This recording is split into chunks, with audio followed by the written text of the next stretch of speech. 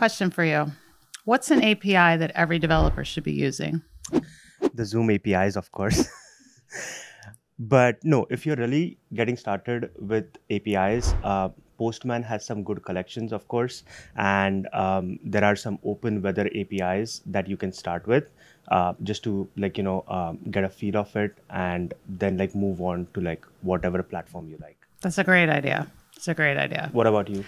I'm the same way. I like to experiment with APIs that are operating on things that I understand well. Like your case with weather, I like the social media APIs, like Reddit APIs or Twitter APIs, because I know how Reddit and Twitter work from the outside. It's fun to see what I can do with them programmatically. And Postman's awesome.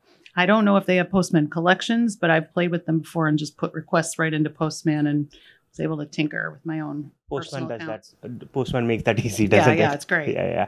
Uh, I remember uh, initially when Postman was just like a Chrome extension. Yeah. Uh, one of the first APIs that I was that I tested was like the Facebook APIs. Yeah. Uh, so yeah, right, right Yeah. on there with you. I remember I started in those days too, and it was a browser extension, and I've been a fan ever since. yeah, likewise.